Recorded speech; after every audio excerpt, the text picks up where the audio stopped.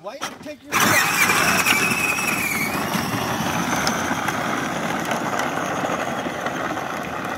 on, girl. Just don't hit someone else. Joe, you gotta go potty? We'll wait for you. You go potty. We'll wait for you. Uncle will wait for you.